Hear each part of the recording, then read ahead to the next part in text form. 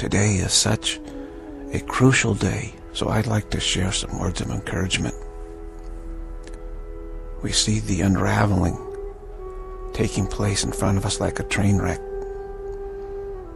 And there's a very uh, crucial realization that it has to be made as we see uh, the world plummeting towards default, towards losing what we feel is, is our prosperity.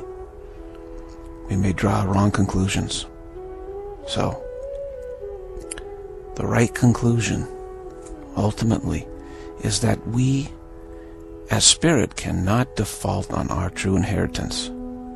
It's there waiting for us. We cannot default on it. We cannot get rid of it. We cannot be truly impoverished.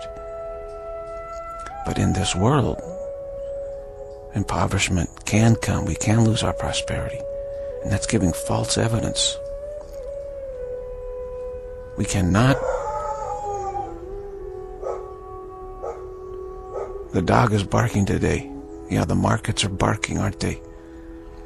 Very severely as we see the unraveling taking place.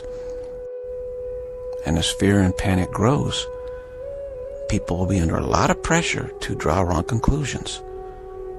Existence really is an attempt to prove that we can default on our inheritance. Spirit chose this idea of existence as a way to try and find out how much authority it really has.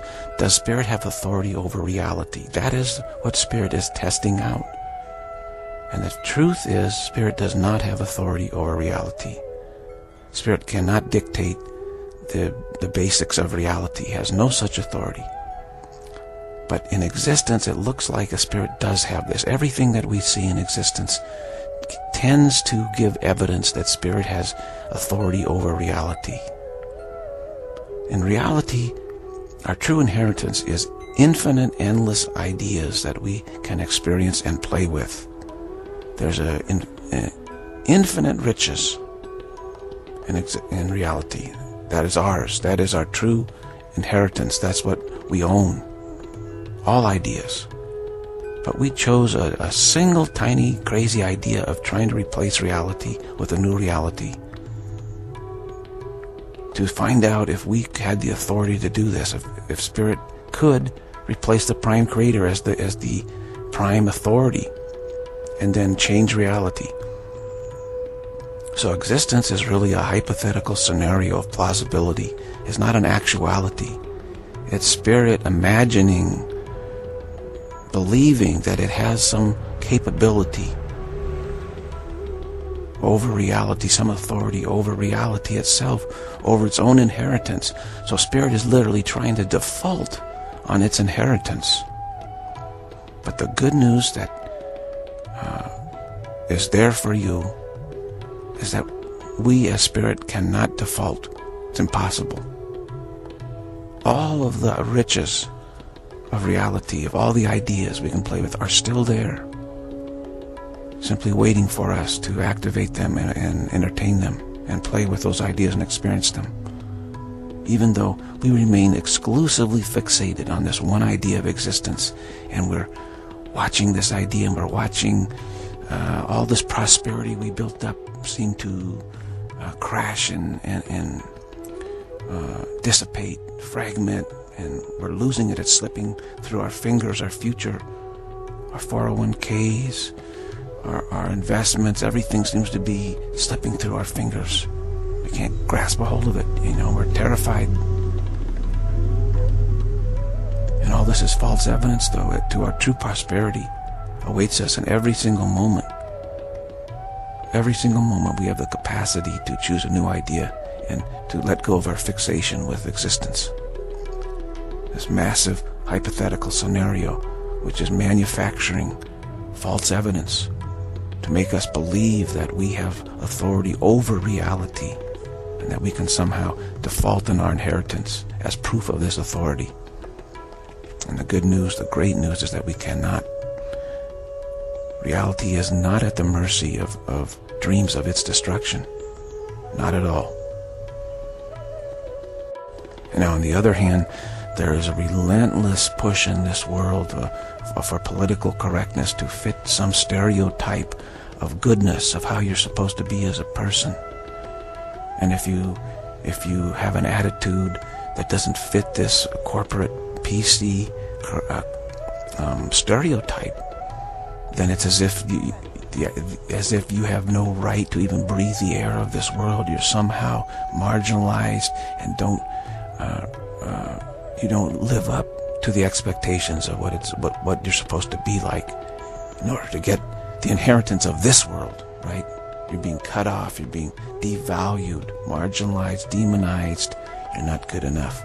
So if you're if you fit in any of those uh, ist types, you're if you're sexist, if you're uh, racist, if you're homophobic, if you're uh, ageist, if you're this ist ist ist ist, you know, if you're anything that doesn't fit this rigid, narrow stereotype of what's supposed to be ideally good person.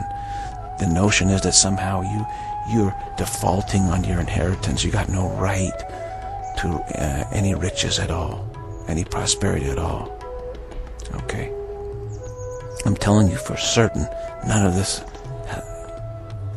counts for the slightest bit on your inheritance. Has no effect on it whatsoever.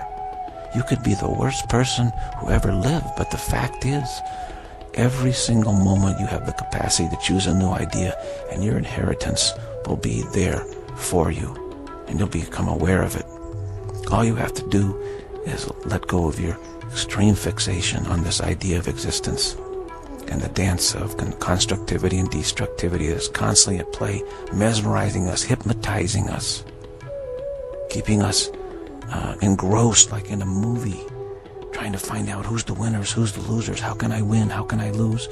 And you'd say, oh, I, I said something, and somebody said, oh, you're a bad person. You said something that was an ist, you know.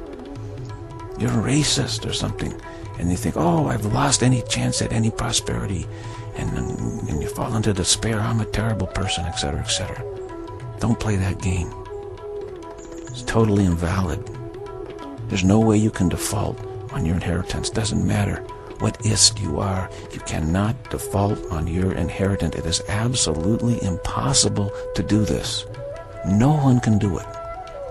Okay, so why even uh, waste time playing this blame game, this win and lose game? Who's to blame? Who the bad people? Who the good people? How are we going to get ultimate prosperity? You already have ultimate prosperity. You already have it. God gave it to you. The prime creator shared all ideas, infinite, endless ideas with, with God the Son, Spirit. Spirit has all of those. And it's impossible to default on it. Impossible. You cannot. So be at peace of mind. Don't be so worried about all the clamor of the world and all the judgment of the world upon you. And don't worry so much about judging the world yourself. No one can default. It's impossible. So as the world goes into default, remember you cannot default on your true inheritance. It's there waiting for you, and this is absolutely certain. 100% guaranteed. No matter what the world tries to tell you about it, this is absolutely true and guaranteed, and that is Christ clarity. Very good.